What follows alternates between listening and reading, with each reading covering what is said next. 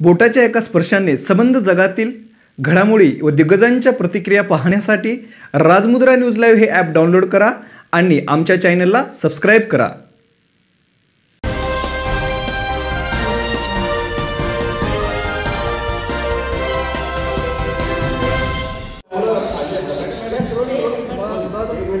उभं राहायचं का? सध्या महाराष्ट्रात जे चित्र बघायला मिळत राणे समर्थक विरुद्ध शिवसैनिक हे ठिकठिकाणी आहेत. अनेक ठिकाणी अ, धरलं गे जात आहे जनतेला सुद्धा जुहूच्या बंगल्यासमोर राण्याच्या बंगल्यासमोर सुद्धा मोठा राडा सुरू आहे काय सांगाल? नारायण राणेंच्या वक्तव्याविषयी आपली पहिली प्रतिक्रिया काय? नारायण राणेंचं वक्तव्य निषेधारे आहे. राज्याच्या मुख्यमंत्र्यांच्या बाबतीत असं बोलणं हा महाराष्ट्राच्या जनतेचा अपमान आहे. आणि अशी भाषा राजकारणात यापूर्वी कुणीही कधी वापरलेली नव्हती. मोदी सरकारने आणि नरेंद्र मोदींनी कसे सहकारी निवडलेले आहेत याची छोटीशी चुणूक नारायण राणेंच्या या वक्तव्यातून महाराष्ट्राला आणि देशाला कळलेली आहे. सर राजकारणाचा स्तर घसरला असं वाटतंय का महाराष्ट्राचा तरी? कारण ज्या पद्धतीने राणे समर्थक आणि शिवसैनिक भिडतायत आणि त्याच्यात सर्वसामान्य जनतेला वेठीस धरलं जातं. राजकारणाची स्तर खाली गेला आहे असं नाही. काही लोकांचा स्तर खाली गेलेला आहे. आणि अशा पद्धतीनं बोलणाऱ्या लोकांना महत्त्व देणं हे प्रत्येक राजकीय पक्षाने विचार केला पाहिजे. आणि कशा पद्धतीने राजकारणात वावरायचं आणि राज्याच्या मुख्यमंत्र्यांच्याबद्दल तुम्हाला भले राग असेल भारतीय जनता पक्षाला उद्धव ठाकरेंचा द्वेष असेल त्यांच्यावर प्रचंड मोठा राग असेल तरी ही भाषा महाराष्ट्र कधीही मान्य करणार नाही. आणि दुर्दैवाने त्यांनी ही भाषा केली. याबद्दल त्यांचा निषेध करणंच स्वाभाविक आहे. सर पण देखील पद्धतीने ठिकठिकाणी आंदोलनं केली जात आहेत. जाळपोळ होती आहे हा. मारामारी केली जाते आहे. याच्याबद्दल काय सांगाल? कारण त्याच्यामुळे महाराष्ट्र वेठीस धरला जातोय सामान्य जनता वेठीस धरली जाते. असं आहे की महाराष्ट्रात शिवसेनेने उद्धवजी जेव्हापासून मुख्यमंत्री झाले आहेत त्या तेव्हापासून जबाबदारीने आणि संयमाने वागण्याचंच काम केलेलं आहे. पण अतिशय टोकाची भूमिका जर कोण घेत असेल तर त्याच्यात शिवसैनिक नाही पण जनतेची ही रिॲक्शन काही ठिकाणी येत असेल आणि मला वाटतं की अशी रिॲक्शन येत असेल तर ग्रह खातं त्याची काळजी घेईल. कोणत्याही परिस्थितीत कायदा कोणी हातात घ्यावं याचं कोणी समर्थन करणार नाही. आणि राष्ट्रवादी पक्ष कधीही त्याचं समर्थन करणार नाही पण अशी वक्तव्य करणं आणि त्या बाबतीत इतक्या खालच्या स्तराला जाऊन राज्याच्या मुख्यमंत्र्यांच्या बाबतीत असं विधान करणं याचा निषेध करावा तेवढा थोडा आहे. पण शांतता सुव्यवस्थेची परिस्थिती निर्माण होते प्रश्न निर्माण होतो. महाराष्ट्र महाराष्ट्रामध्ये सरकारकडनं याच्यावरती काही उपाय केला जाणार आहे का? कारण ज्या पद्धतीने शिवसैनिक आक्रमक होत आहेत. बघता शांतता सुव्यवस्थेचा खूप मोठा प्रश्न निर्माण झाला. नाही असं आहे की मला कोणकोणत्या ठिकाणी काय परिस्थिती आहे याची माहिती गृह मंत्रालयाकडे जास्त असेल माझ्याकडं संपूर्ण माहिती नाही आहे. त्यामुळे याबाबतीत भाष्य गृह मंत्रालयाकडून होणं योग्य आहे. पण असं विधान करून फार मोठी गंभीर अशी म्हणजे महाराष्ट्रात असं कधी कोणी कोणाबद्दल बोललेलं नव्हतं. त्यामुळं त्या विधानाकडे बघितलं तर महाराष्ट्राच्या जनतेलाच स्वतःला हा स्वतःचा अपमान आहे असं वाटतं. नारायण अटक होऊ शकते का या प्रकरणामध्ये? मला त्याची काय माहिती नाही. चंद्रकांत पाटील आज पुण्यात असं की आज राज्यात काही महत्त्वाच्या राजकीय घडामोडी होणार होत्या आणि त्या थांबवण्यासाठी अशा प्रकारचा राडा केला जातो शिव शिवसेनेकडनं. काही राजकीय मोठ्या घडामोडी होणार होत्या असं सुतोष चंद्रकांत पाटलांनी केलं होतं. तसं काही त्याच्यात तथ्य आहे का? म्हणजे तुम्हाला त्याबद्दल काही माहिती आहे? माझी प्रसारमाध्यमांना विनंती आहे की चंद्रकांत दादांना जास्त मनावर घेत जाऊ नका. दोन वर्ष ते हेच सांगत आलेले आहेत. त्यामुळे आता तुम्हीच तुमचं टी आर पी टिकवायचं असेल तर चंद्रकांत दादांना किती महत्त्व द्यायचं हे ठरवा. पण एका मंत्र्यांविरोधात गुन्हा दाखल झालेला आहे. पुण्यामध्ये आणि नाशिकमध्ये. पुणे आणि नाशिकचे पोलीस आता कोकणामध्ये दाखल होत आहेत. तर दुसरीकडे नारायण राणे यांनी हायकोर्टात देखील धाव घेतल्याचं बोललं जात आहे तुम्ही मंत्री म्हणून या सगळ्या प्रकरणाकडे कसं पाहताय? कारण ते देखील मंत्री आहेत. नाही असं आहे की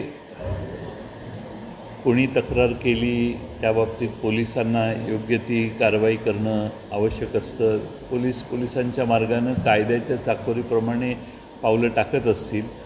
परंतु मुळात हे जे मूळ कारण आहे तेच अतिशय गंभीर आहे. आणि भारतीय जनता पक्ष त्याचं समर्थन करतो का याचं खुलासा होणं आवश्यक आहे. चंद्रकांत दादा पक्षाचे महाराष्ट्राचे अध्यक्ष आहेत. ते नारायण राणेंनी केलेल्या वक्तव्याचा समर्थन करतात का? देवेंद्र फडणवीस त्यांचं समर्थन करतात का? हे स्पष्ट शब्दात महाराष्ट्राला कळणं ही तेवढंच आवश्यक आहे. महाराष्ट्र में घटनाएँ देखने को मिल रही है माहौल गर्मा गया है। किस तरह से देखते हैं नहीं, महाराष्ट्र के मुख्यमंत्री उद्धव जी ठाकरे, इनको जो नारायण राणे ने वक्तव्य उनके ऊपर किया, वो बहुत निषेधार्ह वक्तव्य है। और ऐसे महाराष्ट्र में या पूरे देश में ऐसे कभी भाषा इस्तेमाल की नहीं गई थी। इसमें एक सिद्ध होता है कि नरेंद्र मोदी जी ने अपने नए सहकारी मंत्रिमंडल में जो चुने हैं वो किस बेसिस पे या कौन से क्राइटेरिया पे चुने हैं इसके ऊपर फिर एक बार आशंका जताई जा सकती है। सर सध्याची जी परिस्थिती आहे जे हिंदी अरे हिंदी आपलं हिंदीचं मराठी झालं घोटाळ होतो.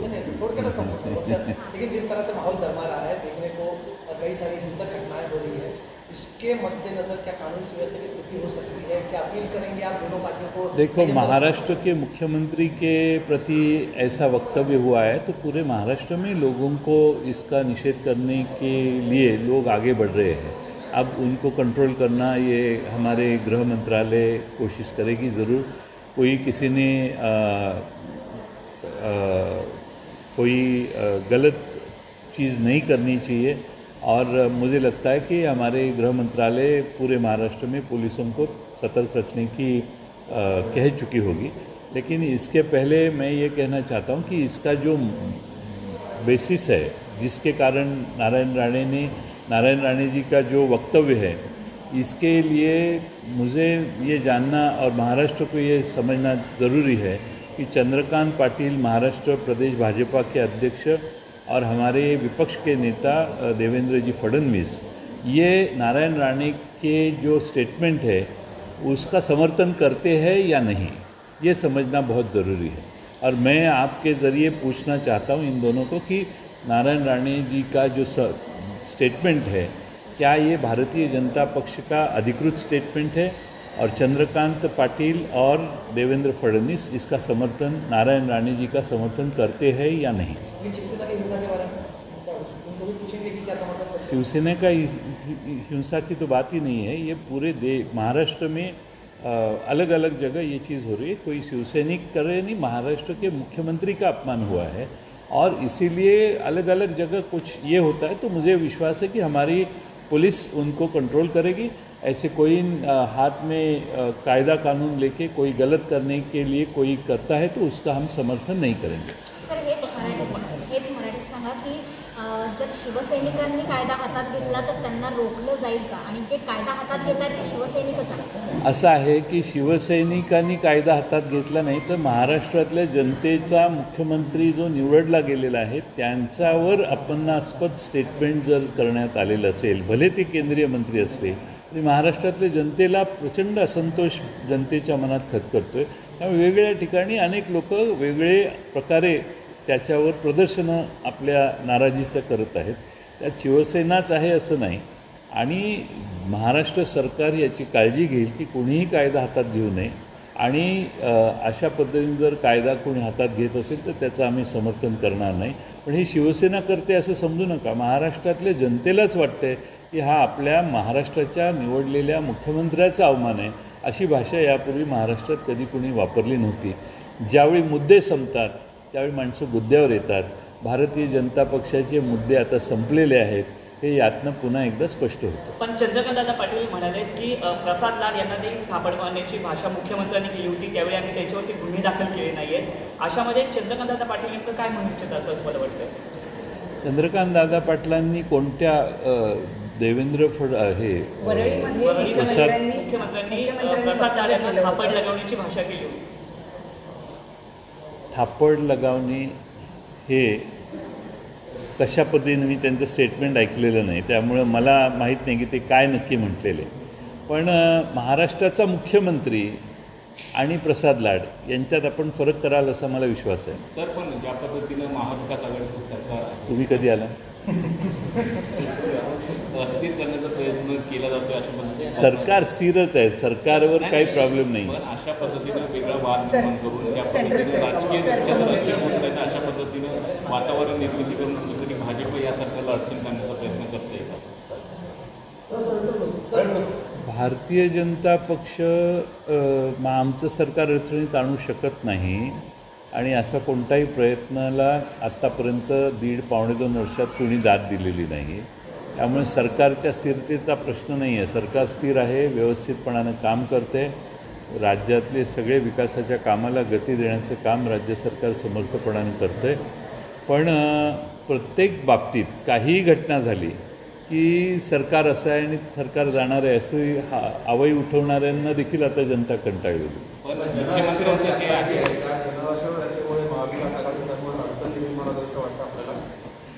जन आशीर्वाद कशासाठी? पेट्रोलच्या किमती वाढल्या म्हणून डिझेलच्या किमती वाढल्या म्हणून का गॅसच्या किमती वाढल्या म्हणून का महाराष्ट्रात आणि भारतात महागाई वाढवली म्हणून? आशीर्वाद कशासाठी जनतेने द्यायचा? आणि कशासाठी हे जन आशीर्वाद काय? महाराष्ट्रात नवीन मंत्री झाले नाहीत केंद्रीय मंत्री कधी बघितले नाहीत. त्यामुळं हे सगळंच हास्यास्पद आहे. जन आशीर्वाद यात्रा घेण्यासाठी दारात जात आहेत त्यावेळी लोकच विचारत आहेत आता हे मुख्यमंत्र्यांच्याच कानाखाली मारायला निघाले लोक असल्यामुळे लोक घाबरतात. घरात बसून आपला निषेध मतदान येईल त्यावेळी व्यक्त करतील. नाही मुख्यमंत्र्यांच्या संदर्भात वेगवेगळे सर्वे येत आहेत. मुख्यमंत्री लोकप्रिय होत आहेत त्यामुळे अशा पद्धतीनं त्यांच्यावरती वैयक्तिक टीका टिप्पणी भारतीय जनता पक्षाचे केंद्रात नवीन झालेल्या मंत्र्यांनी केलेलं हे वक्तव्य हे नरेंद्र मोदींचं वक्तव्य आता समजावं लागेल. कारण नरेंद्र मोदींनीच त्यांना मंत्री केलेलं आहे. त्यामुळे नरेंद्र मोदी देवेंद्र फडणवीस चंद्रकांत पाटील हे यांचं समर्थन करतात का? हे त्यांनी लवकर खुलासा केला पाहिजे. नाही तर महाराष्ट्राचा त्यांच्याबद्दल गैरसमज होईल. कारण राज्यामध्ये आणि देशामध्ये सगळ्यात पॉप्युलर मुख्यमंत्री आहेत. आणि त्यांच्या मागे हे लागलेले आहेत. असं चित्र देशात तयार व्हायला लागलेलं आहे. ताज्या घडामोडी पाहण्यासाठी राजमुद्रा न्यूज लाईव्हला सबस्क्राईब करा बेल आयकॉन